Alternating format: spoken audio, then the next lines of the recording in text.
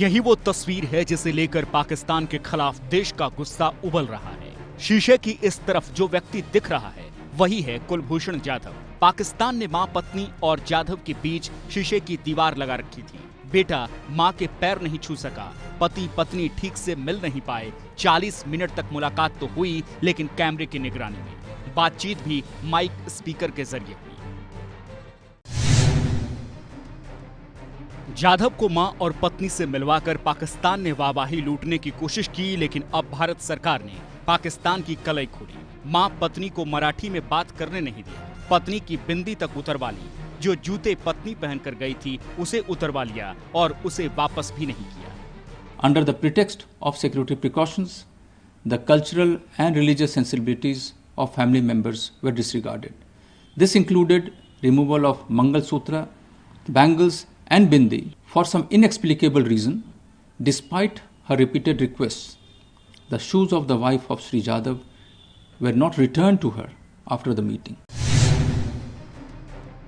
Pakistan ने कहा कि परिजनों से जाधव की मुलाकात के लिए 25 दिसंबर का दिन इसलिए चुना गया क्योंकि इसी दिन मोहम्मद अली जिन्ना की जयंती है मुलाकात के बाद पाकिस्तान ने जाधव का वीडियो जारी किया जिसमें वो कह रहे हैं कि मैंने अपनी माँ और पत्नी से मुलाकात की गुजारिश की थी और मैं इसके लिए पाकिस्तान का शुक्रिया अदा करता हूँ।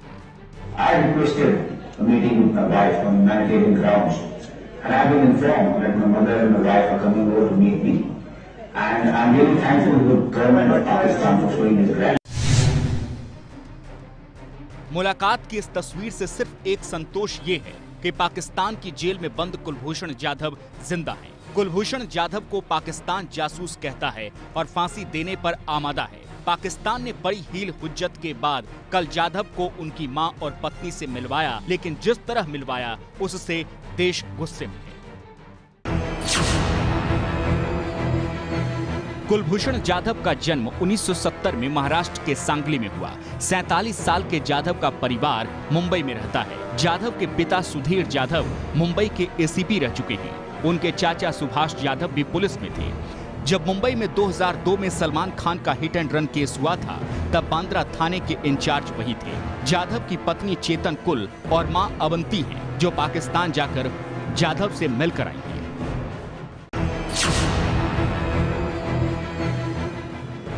कुलभूषण जाधव भारतीय नौसेना में काम कर चुके हैं। कहा जाता है कि वो उन्नीस सौ सतासी में एनडीए में गए थे।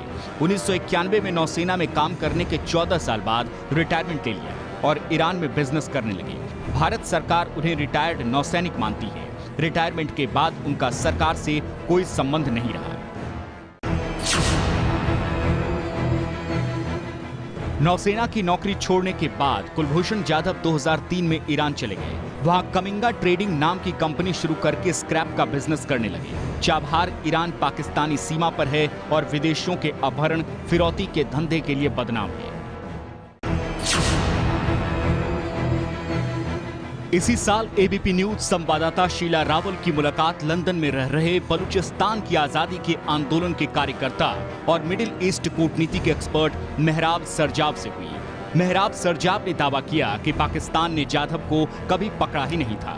पाकिस्तान ने तो ईरान में उसे अगवा कराकर अपने जाल में फंसाया था। स्ट्रॉन्ग एविडेंस है कि गुलभूषण यादव को पाकिस्तानियों ने ट्रैप किया था और उसके बाद में उसको ईरान की तरातरी के अंदर, बलूचिस्तान है उस तरफ़ भी, वो ईरानियन बलूचिस्तान की तरातरी के अंदर उसको ट्रैप करके, उधर से किडनैप करके, पाकिस्तान की तरातरी में लेकर, और उधर ही वो जो लोगों ने उसको ट्रैप कर किडनैप करके, बाद में पाकिस्तान की आई एस आई के हाथ में सौंपा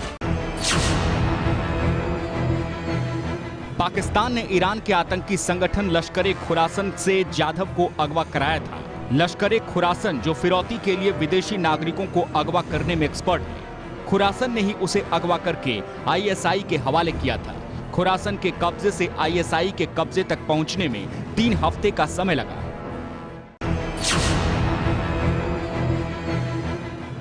उनतीस मार्च को पाकिस्तान के सूचना प्रसारण मंत्री और आईएसपीआर के DG lieutenant general Asim Saleem Bajwa ने प्रेस कॉन्फ्रेंस करके जाधव की गिरफ्तारी की कहानी दुनिया को सुनाई थी। पाकिस्तान के बाजवा ने दावा किया था कि जाधव को रंगे हाथों पाकिस्तान के बलूचिस्तान के मशकेल में गिरफ़्तार किया गया था। पाकिस्तानी अखबार डॉन में जाधव की गिरफ्तारी की खबर छपी थी। तीन मार्च 2016 को गिरफ्तारी का दावा झूठा था।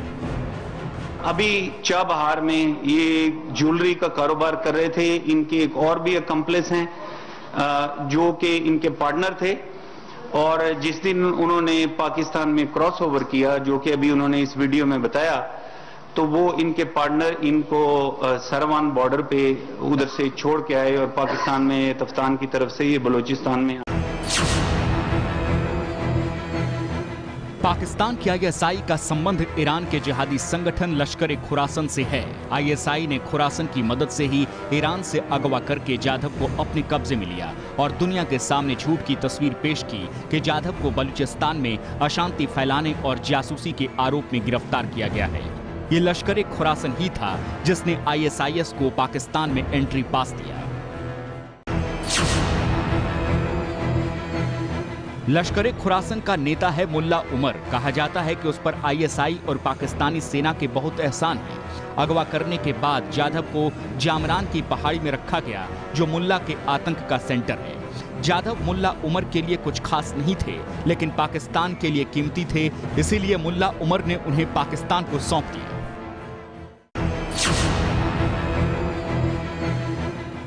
ईरान में रहते हुए जाधव से सिर्फ़ इतनी गलती हुई कि वो बिज़नेस बढ़ाने की होड़ में कुछ ऐसे लोगों के संपर्क में आ गए जो ठीक नहीं थे। धोखे से वो लोग जाधव को पाकिस्तान की सीमा में ले गए। बिज़नेस डील के लिए जाधव किराए की कार लेकर ईरान के चाबहार से एक सहयोगी के साथ पाकिस्तान की सीमा से सटे सरावन रवाना हुए थे।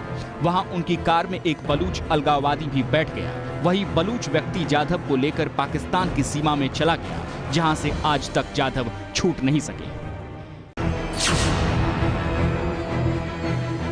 पाकिस्तान ने जाधव का जो इकबालिया बयान जारी किया था, उसमें यही कहानी जाधव ने सुनाई थी।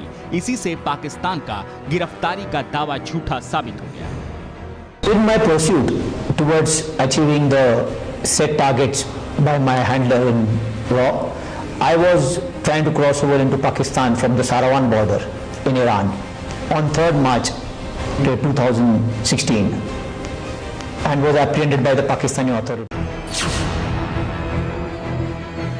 Kulbhushan Jadhav को लेकर पाकिस्तान का हर कदम दुनिया के सामने उसे बेनकाब कर चुका है। पाकिस्तान जाधव को जासूस कहता है। अगर ऐसा है, तब भी वियना संधि के मुताबिक जाधव को काउंसलर एक्सेस यानी वकील की मदद लेने का हक बनता है। इंटरनेशनल कोर्ट ऑफ़ जस्टिस भी पाकिस्तान को लताड़ लगा चुका है कि वियना संधि में कहीं नहीं लिखा कि आतंकवाद या जासूसी के आरोपी नागरिक को काउंसलर एक्सेस नहीं मिल सकती। पंद्रह बार मांगने के बाद भी जाधव को काउंसलर एक्सेस नहीं दिया पाकिस्तान। पाकिस्तान ने कुलभूषण जाधव को इसलिए अपने कब्जे में रखा हुआ है क्योंकि उसका दावा है कि कुलभूषण जाधव भारत की खुफिया एजेंसी रॉ के एजेंट थे जाधव बलूचिस्तान को अस्थिर करने में लगे हुए थे। ऐसे आरोपों को साबित करके बिना जाधव को कानूनन सफ़ाई का मौका दिए पाकिस्तान की सैनिक अदालत ने इसी साल 10 अप्रैल को सिर्फ़ साढ़े तीन महीने की अदालती कार्रवाई के बाद जाधव को फांसी की सजा सुना दी। पाकिस्तान की गिरफ्त में फंसने के बाद उनका छह मिनट का एक वीडियो सामने आया, जिसमें जाधव अपनी कहानी सुनाते हुए ये कहते सुने जाते हैं कि वो रॉ के लिए काम कर रहे थे। लेकिन सरकार का कहना है कि ऐसा बयान जबरन पाकिस्तान ने जाधव से दिलवाया। इन माई प्रोस्यूट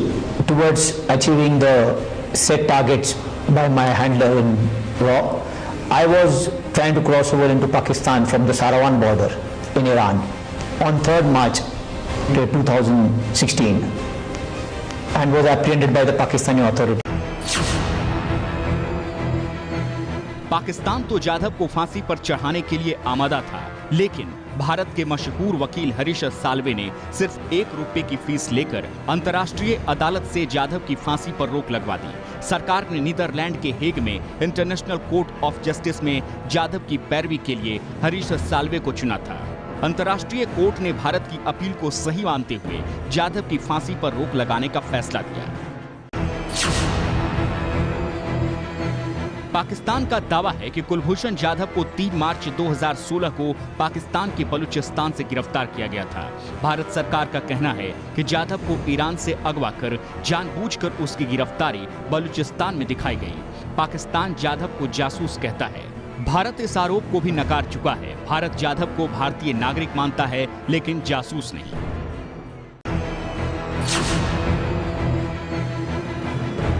ये है एबीपी न्यूज़ आपको रखे आगे।